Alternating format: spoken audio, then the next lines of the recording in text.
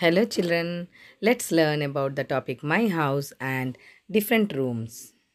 A house is a place where we live. A house protects us from sun's heat, cold, rain, wind and storms, wild animals, and thief. Now, let's learn about different rooms in a house. So, children, here what is this? This is a kitchen. We cook food in the kitchen. This is a dining room. We have our meals in the dining room. And children, what is this? This is a drawing room. We welcome our guests in the drawing room.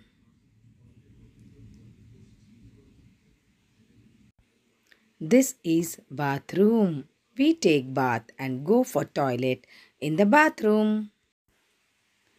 This is bedroom. We rest and sleep in the bedroom.